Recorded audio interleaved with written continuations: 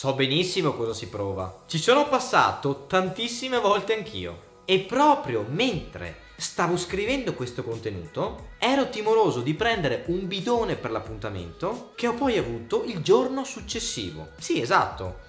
Ero un po' teso. Ti guadagni la considerazione tra decine e centinaia di uomini che ci provano con lei ogni mese. Fai le magie per prenderle il numero di telefono, ti giochi il poker d'assi per fissare appuntamento e il giorno prima o il giorno stesso ti dà buca. Quanto ti dà fastidio da 1 a 100? A me personalmente 1000. Quindi, siccome conosco bene il fastidio che si prova, mi sono inventato un po' di trucchetti per cercare di non farmi dare bucca ad un appuntamento. Come si fa?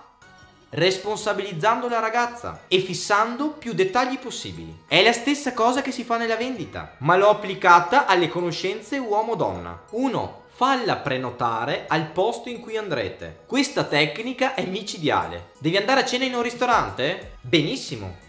Prendi il numero di telefono, giralo alla ragazza e dille che sei molto occupato per organizzare un evento di lavoro. Chiedile gentilmente di sgravarti di questo compito e falla prenotare a suo nome. In questo modo la ragazza è molto più responsabilizzata rispetto a non avere una meta, non avere una prenotazione a suo nome e a non avere un orario. Se non vai al ristorante, scegli un lounge bar molto carino e applica la stessa identica tecnica. In questi cocktail bar di fascia medio-alta le prenotazioni sono sempre ben accette. Dille che è sempre pieno di gente. 2. Fissa l'orario in cui le andrai a prendere. Questo è il secondo step e prevede di fissare l'orario in cui le andrai a prendere sotto casa. Tale dettaglio si somma ai precedenti e contribuisce a diminuire le probabilità che la ragazza ti dia buca. Più l'appuntamento è in qualche modo organizzato e vincolante, meno è probabile che la ragazza ci ripensi e finisca per fare dietro front all'ultimo momento. Ovviamente non è detto che nel caso in cui l'appuntamento sia improvvisato, la ragazza ti dia buca al 100%. Questo è un modo che ho testato e che funziona. 3.